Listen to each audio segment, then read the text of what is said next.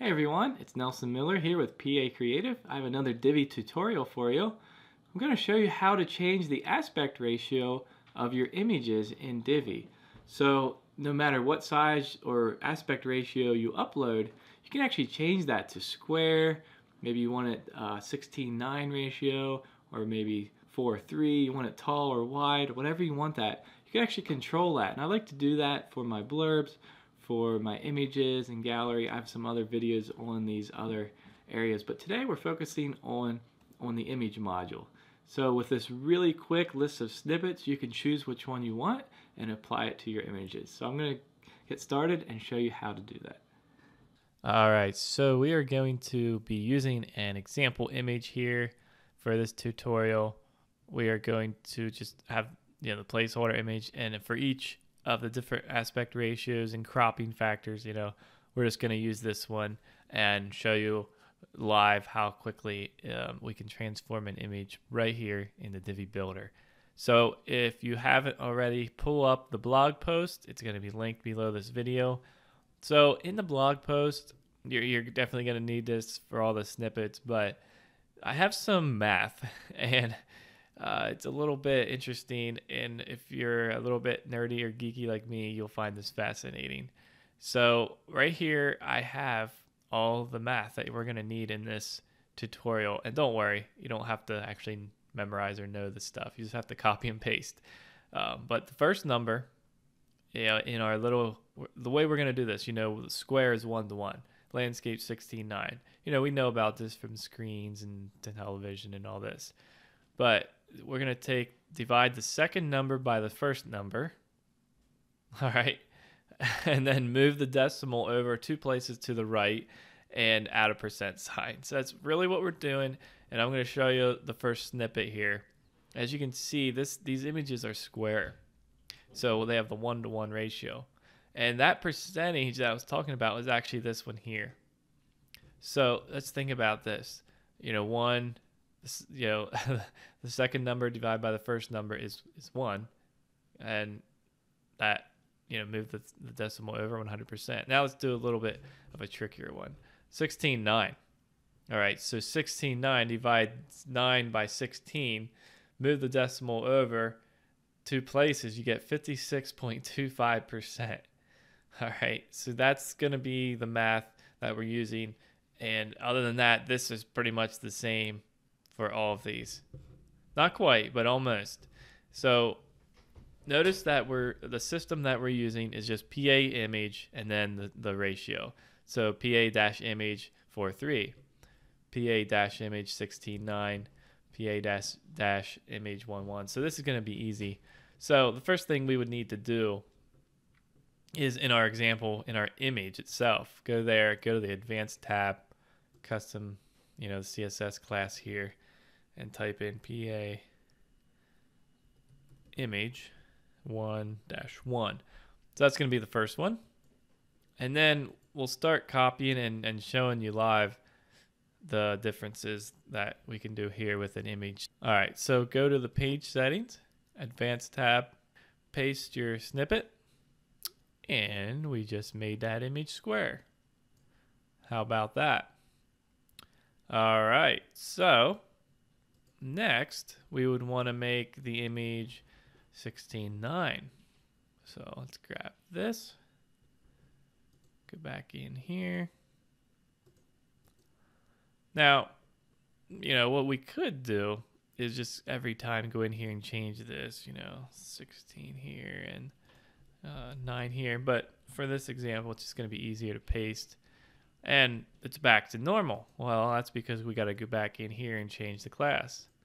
So here we would just say 16, 9. And it changed a little bit. It wasn't a big difference from the default. All right, next is 4, 3. Copy that snippet.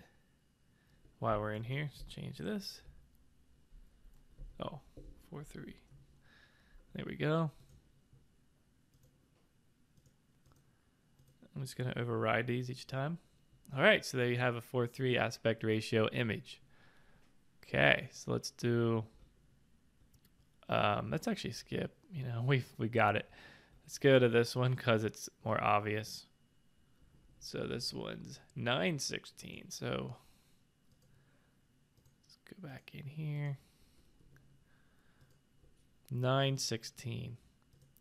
So we have to change this and it's kind of a cool system I created. There you go.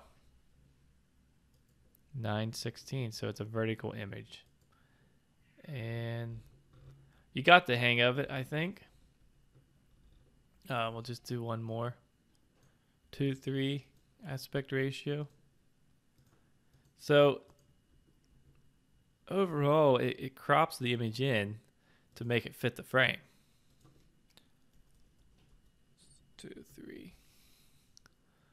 Okay. So, and of course, you know, you can do this. Let's say you have, um, I don't know, you could, you could, you could totally make a grid of, of different ones here too. So I thought I was duplicating it, but I wasn't. There we go. So I guess what I mean by that is you could go back here. Let's take let's take this one. Three, two. And we could add this. Right? So you'd wanna you know, you'd want to go down below here. Add that one. So we have two, three, and three, two right now. So let's just change one of them.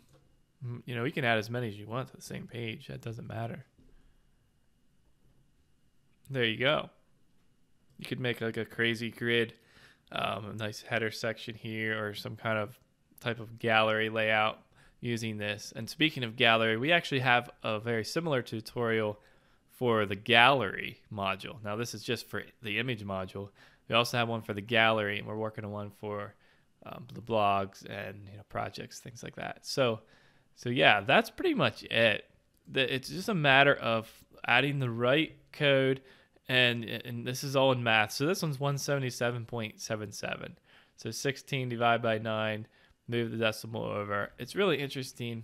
You know, that would be 16 divided by 9, 1.7777. Move that over, make it into a percentage, and that's the padding top. And that's what's that's the little trick that we're doing here.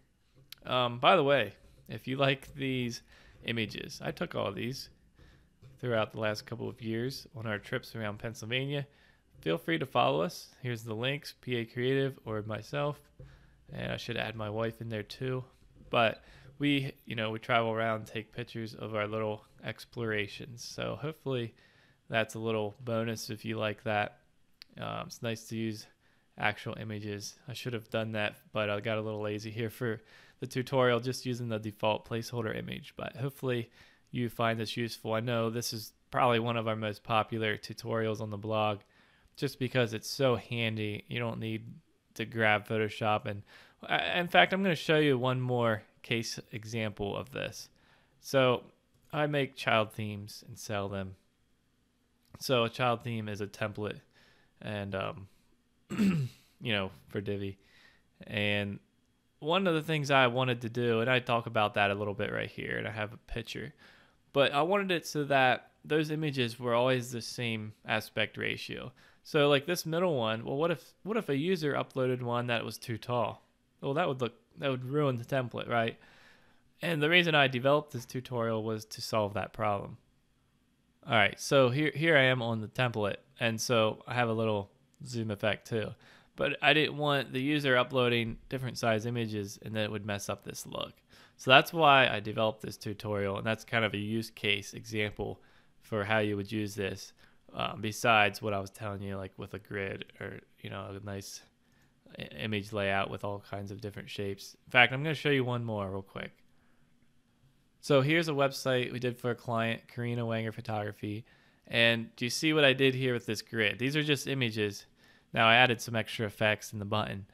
Um, and we'll, we actually have a tutorial on that coming up. But what I want to point out is the way I made this work out. So I made this percentage be twice as high as this one. Okay. And then I figured in for the gap too. So it's a little tricky, but I'm just showing you some use cases for this. Hopefully, you know, your, your mind's working, you have some more ideas. And in fact, I would love if you would link what you create with this, link that down below. That would be really great. Uh, I could look at it and, you know, use it for more tutorials.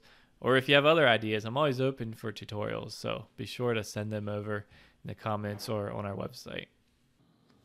All right, well, I hope you find that useful.